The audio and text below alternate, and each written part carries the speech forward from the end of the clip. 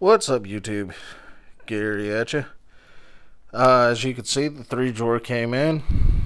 Um, this is going to be pretty much the new pit cart setup. Um, my plan is running our common accessories at the top, you know, like tire gauge, stuff like that. And the second drawer, I have it divided so we can fit, you know, our wrench pouch, uh, screwdrivers, and the pliers that we use. And then, you know, batteries, the impact, and stuff like that. So I'm really hopeful that this will kind of solve the problem. I've been looking around for a long time about solutions in the pits, um, mainly because we need it lightweight, and these things each weigh about 20 pounds unloaded, give or take. So you fill them with tools, eh, roughly 50, 75 pounds in between that. But, you know, like something like a metal box, it's going to weigh significantly more. So, I do want to utilize this in the best way. Now, the one other cool feature, and I know everybody's showing this, that it does lock the drawers. Let me get down here so you can see. This is an absolute must for us in the trailer. And it's why I swear by the magnetic tool uh, trays. Mainly because you don't have sockets going flying every which way. I'll show you what I'm talking about. So like snap-on tray, they're magnetic. So, see, upside down, magnetic. You take one of these rails, they're kind of a pain to get on and off quickly. Okay, when we need a socket, we need a socket like yesterday. You know, the other types of trays, like the uh, thin aluminum ones, you know, whichever brand you prefer, they're good trays for, you know, somebody that's stationary. But it sucks when you go to move them. So, stuff like that really, uh, yeah, takes its toll, and I can't afford disorganization. So, put most of my Packout stuff back onto the rack. But as you can see, I don't use the Packout like traditionally. This is all tire and air stuff. This is all measurement and engine building honing.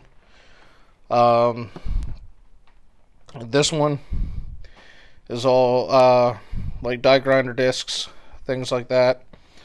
Uh, fuses for electrical. The one below it, we have brakes and a radiator tool. And here we have um, fuel and more uh, attachments to uh, discharge my larger box right here with the OPT is all welding gear. So like welding and fab and stud welder and whatever. And the big box is usually all the overflow that we need to build race cars. So,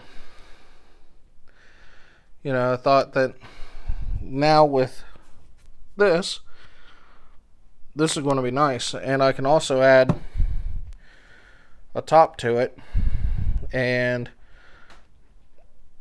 you know, have a place to store um, things for when we're uh, testing out on the track and whatnot. You know, because usually that's pen and paper or phone. It all depends on how we do it. Um,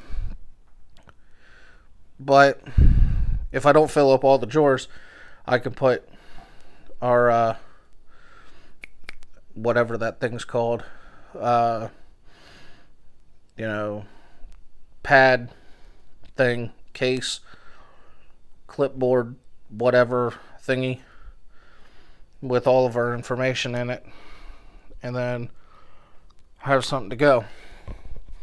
Um, I do have the Packout feet right here. Um, my fourth one is inside. Thanks to kids that love to grab things.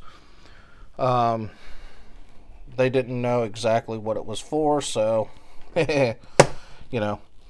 Uh, the plan is to take my Milwaukee air compressor and get that to where it can attach here. You know, just for transportation.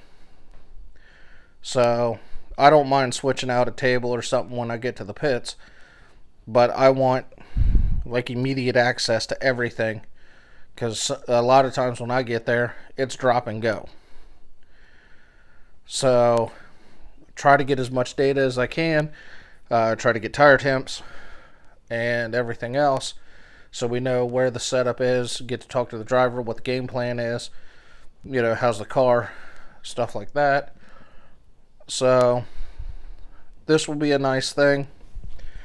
Um, hopefully this thing will hold up.